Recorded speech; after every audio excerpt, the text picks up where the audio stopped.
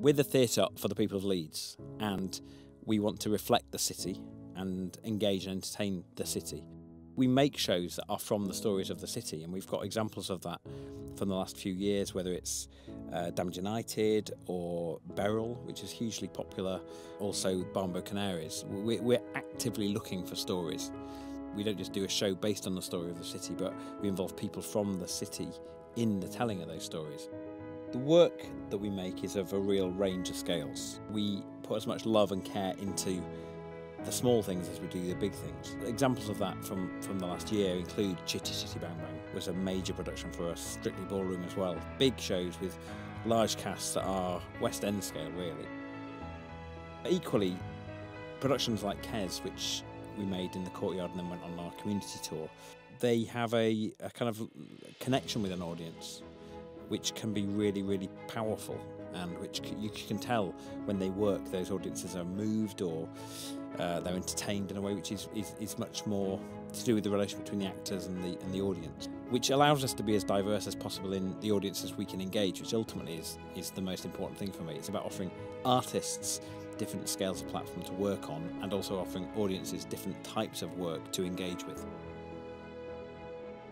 We, we want to work with young people from across the city, and so we're developing different ways of doing that. Youth Theatre is a brilliant way of giving um, young people the opportunity to discover who they are, to find a voice, to explore their role within the world, and also to build confidence and to make friendships and to sort of demystify the theatre as a, as a, as a place. So the Youth Theatre is a really vibrant and kind of lively part of the life of the theatre, and it's brilliant how many young people have become engaged in productions over the last few years. Without that, the theatre would be really impoverished. The energy and the um, kind of enthusiasm of young people is endlessly inspiring, really. First Floor is is also about engaging young people. It was voted best place for young people in Leeds a couple of years ago. It's a brilliant space, safe and creative space for young people, whoever they are across the city, to engage with us creatively. Together, Youth Theatre and First Floor offer a really formidable set of opportunities for young people from the city to discover who they are. Heydays is a brilliant project.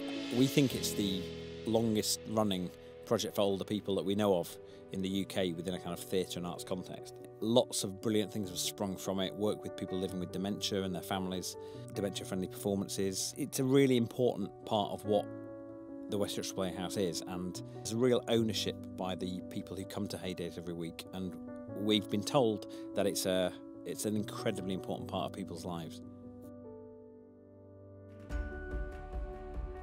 The challenge for the next five years that's really exciting is how we evolve the building, open up the opportunities for making great theatre here, and make sure that's you know impactful in all the right ways for the, the, the city and the people of Leeds. It's not just about what we make and present, it's about the artists who are making that work.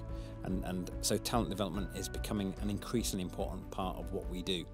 Our director scheme, for instance, we've recently set that up to enable um, directors who are born, raised, or living in Yorkshire the opportunity to spend some time here and develop their skills.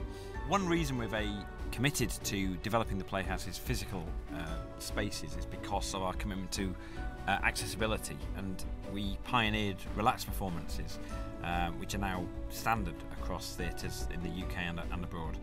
We pioneered dementia friendly performances for people living with dementia, uh, where we adapt the nature of the performance for, for different people's needs. So it's frustrating to us that the physical um, nature of the building sometimes stops us being as accessible as we would want. To work on all the different platforms we're creating and to make sure that we're providing for the people of Leeds uh, the, the best quality, the highest quality theatre work, which is also putting this theatre and this city on the map nationally and internationally. That's, that's the challenge and that's one that we're all really excited about here people love the theatre and, and, and, people who come in regularly have a real affection for it. For us, we, we, it's about keeping the essence of the theatres, um, keeping the essence of the building a big, open, democratic space, but making it feel a bit more special, making it more accessible, making it a place that artists feel comfortable and, and want to come and work in. So that's the that's the that's the trick really is to keep the the essence of what the playhouse is and yet make it feel even more welcoming, even more exciting, even more special